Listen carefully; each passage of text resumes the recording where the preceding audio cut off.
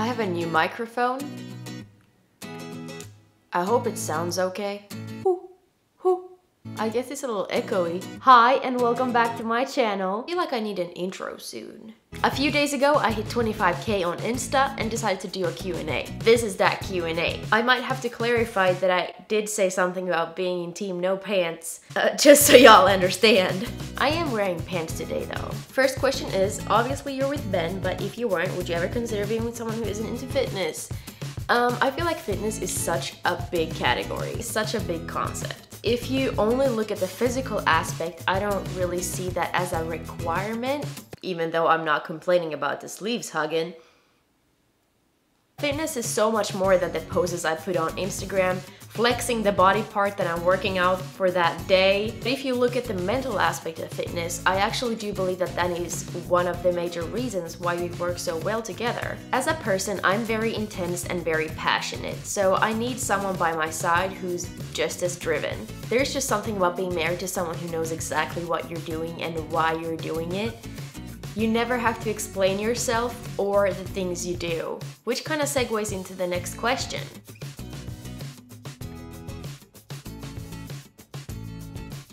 I'm gonna be one of those annoying people and actually say that we have never been in an argument. I really do think that this has so much to do with the mental aspect of fitness. If you truly are happy with yourself and you love yourself first, you're gonna have so much easier of a time to love someone else and give them what they need.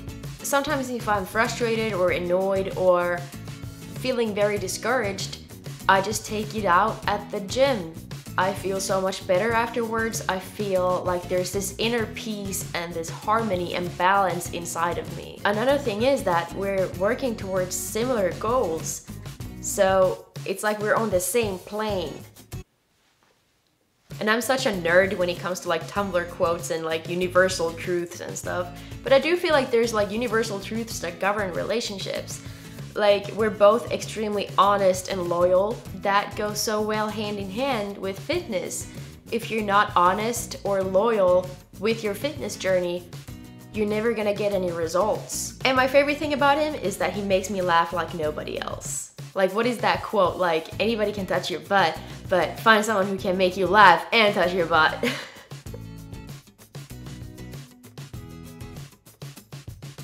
you should try Maria's Super Shake.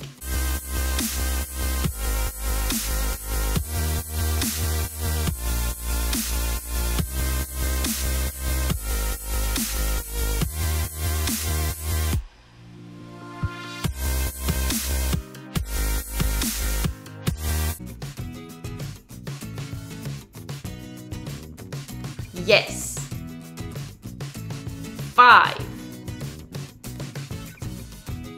Not feeling like a victim and not feeling like I've been treated with injustice or like my life is so much harder than anybody else's. Offer offer kofta. As soon as you take off your offerkofta, life becomes so much easier. I'm no longer restricted by my mindset. I'm no longer restricted by my body. I can do whatever I want. If I want to climb a tree, I can. But I choose not to because it's scary. Um, and for example, I'm not stressed out by sitting in front of this camera trying to angle myself to look as skinny as I possibly can. I'm not worried about meeting new people because I'm not trying to put on a facade, trying to be extra nice or extra funny just so they might not care about the fact that I'm overweight. I don't have to calculate how long it will take me to walk somewhere and how early I have to leave so I'm not going to be sweaty when I get there. My maintenance is about 2000 calories and if I'm trying to put on strength and muscle, bulk, I add about 500 calories. Or if I'm trying to diet, I take away calories slowly. I never go below 1500. The hardest part, I think, is that a lot of people think they know a lot based on very little information. Yes, I will make a video on that. I consider myself being very international and I don't really see myself living in a fixed place for a fixed amount of time. I'm sure we will be living in Sweden at some point. I take 10 milligrams of creatine monohydrate every day as well as protein powder when I don't feel like eating any chicken or tuna or something like that. My ultimate goal is to have so much muscle that I can eat whatever I want. I'm kidding, but I would like to be at a point in my life where I can maintain a very lean figure without having to track my exercise or my food. My favorite snack lately has been oranges. Watch this video. I wish I would have seen that like three years ago when I started. Also, be confident in yourself and your research. Honestly, one of the best forms I've ever seen are by people who are very new to the gym because they do their homework, they sit and watch videos and and they and they want to do things right. So take pride in yourself. Like you're you're you're, you're doing good. Y'all are doing real good. Like yeah. Like sometimes I want to go and high five them, but I don't because that's really creepy and I don't want to be the weird lady at the gym who high fives people. But yeah, you're doing really good.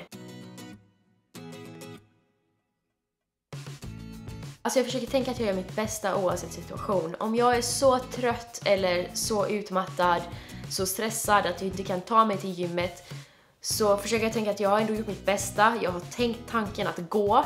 Nu kan man inte göra det varje gång, men det är okej okay att missa en workout ibland. Sen ifall jag känner att jag vill göra någonting i alla fall så kanske jag gör en 5 minuters ab core circuit med typ 50 armhävningar och typ 50 triceps grejer och några squats typ. Och då har jag ändå gjort mitt bästa för den dagen. Man kan inte alltid jämföra sina prestationer med det, med det bästa passet som man någonsin haft. För att det är inte så det funkar i livet. Jag gör samma sak med maten och kosten. Man får tänka att man är en modern människa i ett modernt samhälle.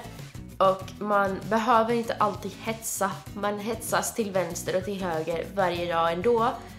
Det är inte hälsosamt att hetsa så himla mycket. Det är liksom okej okay att inte tracka allting man gör hela tiden. Ta det lugnt. Man får hitta en balans och vara snäll mot sig själv. I guess you need to be honest with yourself.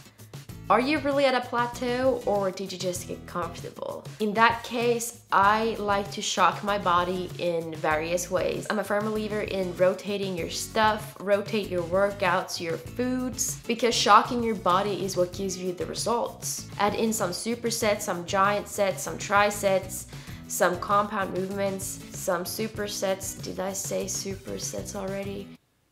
I think I did. I honestly forget that I have them. I don't really pay attention to them. I forget that I have tattoos, so they don't really bother me. Riding instructor. I got a few questions about CrossFit, and like I said, just do something that keeps you active. Something that you find fun. I don't think I would ever do CrossFit.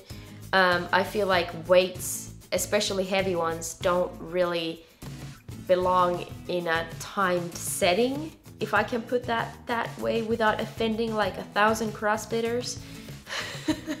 but a lot of that comes from knowing what injured feels like. I need to personally implement perfect form, but I mean a lot of excellent athletes are crossfitters, but you just really need to be super careful. Do whatever keeps you active. The portion sizes took actually very long time to get used to. Uh, I guess honestly, I'm not still really not used to them. But on the contrary, I actually feel like America has a lot more variety in the health department. Health department food, health, health foods, health food department.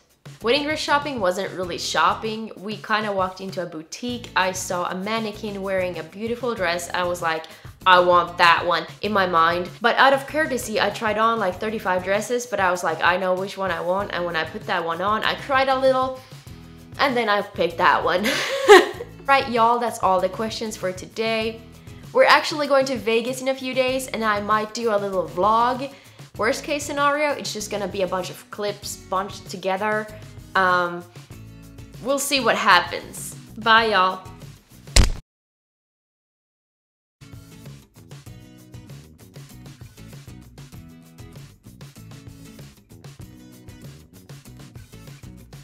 Which hand is better? Five, five. That is Pixie snoring. Rude.